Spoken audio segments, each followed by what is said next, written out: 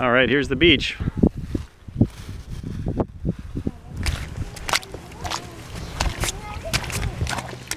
See these holes?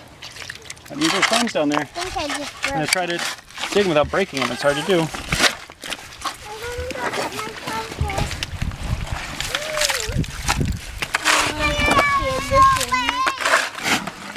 There's one, except that's an empty shell. Oh, that's no good. There's, that's a, another empty shell. The holes are real, so they gotta be down there. There's one right there. See that? Can you Break it. See, there we go. Look at that. Where's the thing that pokes Cool, out? huh? Where's, The soft shell clam. where's the thing that pokes out? Uh, it's there. It's just kind of retracted in. About 40 soft shells. Cool. Some help from my little helpers. Just wanted to show you this view before we took off. Beautiful down here by the river. Gorgeous day out. Got this nice pile of clams. Be a little bit to clean all those up, but hey, I don't care. I'll take it. All right, well, we made it back home. It was a lot of fun to get out there and do some clamming, and frankly, a nice way to take our minds off coronavirus for a little bit. Uh, maybe you're watching this video way in the future and you know how things turned out, but right now we still don't. So all I can say is hope you're safe and I hope you're healthy. And, you know, we'll see what happens, I guess. But a little bit about these soft shell clams. Um, they're actually an invasive species out here on the west coast, native to the east coast of the US. And, you know, th this would be actually a pretty good size one. I haven't ever dug ones much bigger than this. So that kind of begs the question, well, you know, when you have things out there like these huge gaper clams, why would you bother with something this size? Well, a couple of reasons. First of all, these clams are really easy to dig. Um, they're, you know, plentiful. They, they, when you find one, you usually means you find several. And in addition, um, you know, they're, not very deep. They're maybe about a foot down. The other thing about these is they live really quite high in the intertidal zone. You know, meaning that it doesn't have to be a really low, low tide to be able to access and, and dig some of these clams. With gaper clams, you need a very nice low tide if you're going to be successful. These, as long as it's a low tide, doesn't have to be all that low. So, you know, hope that makes sense. But yeah, they're relatively easy to dig, especially like today when I had my family along, you know, and kids, it's just easier to get out there and, and kind of do that. So, um, I think eating wise, they're every bit as good as a gaper clam. And when you clean them, you find it's pretty much the same procedure. So just like a gaper clam, they have a siphon. There's two muscles, these adductor muscles right about here and here. So cleaning the clam just involves, um, again, just like gaper clams, slipping that knife underneath the shell, as close to the shell as you can and cutting those muscles, and then kind of opening up that siphon. And so I can show you that just in a second here. Um, these, I find that I end up breaking the shells a lot when I'm digging them. Sometimes people get really concerned, you know, is that going to make the meat go bad or anything? In my experience, it's totally fine. Um, I probably wouldn't leave them in the fridge a long time if they have broken shells. I would just clean them right away, but I try to do that anyway, so not a big deal.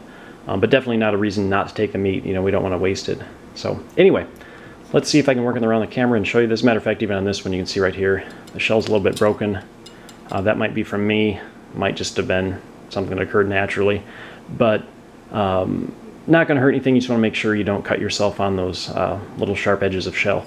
Speaking of which, um, you can tell I'm pretty much healed from my last video incident.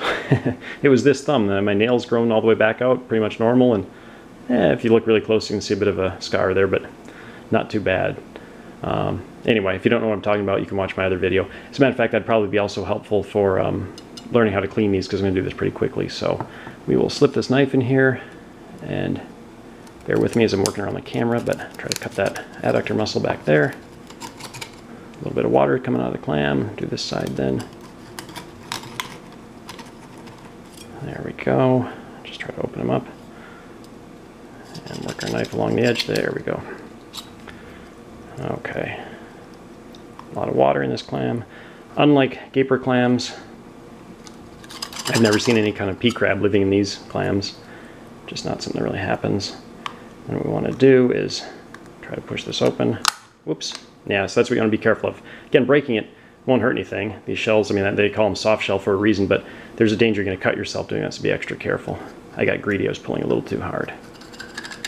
Okay. There we go.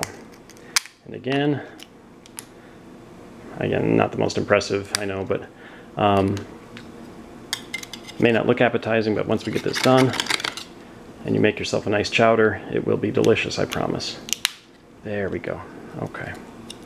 And now I can kind of move this siphon, cut around that on either side. Ideally, I would have done this without breaking the shell like that. That's okay, I'm not too embarrassed. Okay, remove the clam from the shell. Don't mind the fact I'm getting a little flood here.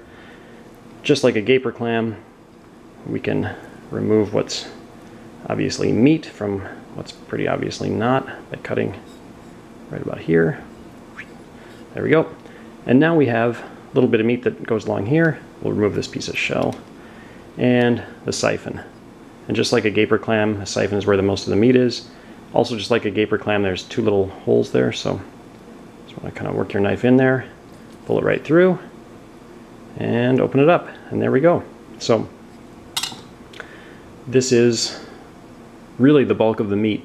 Now, yeah, there's those little adductor muscles. You can eat those. There's a small, small foot to this clam. You can see it right there.